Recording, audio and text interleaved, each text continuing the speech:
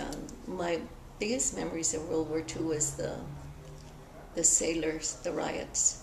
The Zoot riots. Because they came into our community, and my son, my husband, who was a big-looking kid, um, he had to run. Uh, I remember being, going down Cesar Chavez, and there was this truck with sailors and Anglo guys with bats going down.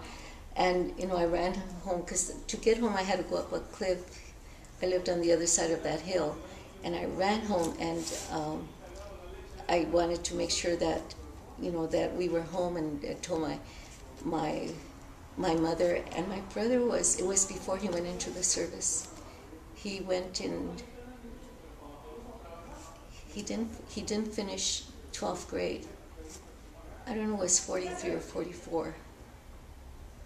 And uh, in fact, uh, one incident I was just, ta- all these have been talking about lately because I was watching um, For Me and My Gal, a, a movie that we saw. My brother took me downtown to the Los Angeles Theatre for my birthday.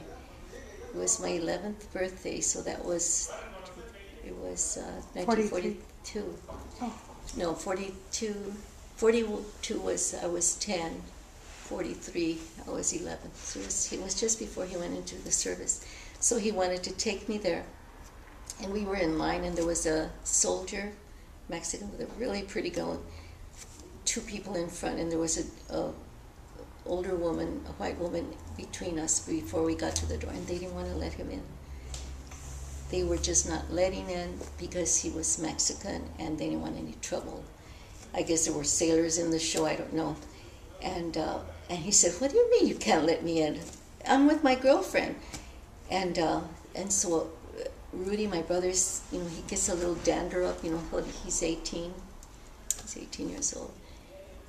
And it, this went on a little bit, and when I got wind of what was happening, I saw that there was some commotion. You know, there there was some arguing, and then so I went and I stood there. I was watching him, his face, because and then uh, my brother was just kind of circled them to see what because that meant that we weren't going to get in, you know. The, and then the woman, I we called her Ahudia because the ones we knew white people were, were Jewish people, and she gave that that uh, clerk the, a hell of a time. What do you mean you're not? Don't you see he's got a uniform? He's fighting for this country, and she gave him a tongue lashing, and then uh, he was well. It's not my decision; it's management. So they called the manager, and somebody came and they talked, and the woman went in there and was really giving them hell. And the soldier was there. He didn't, I don't remember him leaving. He didn't. So they said, We're sorry, you know, of course, come on in. And so that means, and then, and then she said, What about them? And said, yes, they could come in. Then my brother said, I don't want to go in. They're letting us in just because they, we had to argue. I think that's, I'm not going to go in. The hell with them.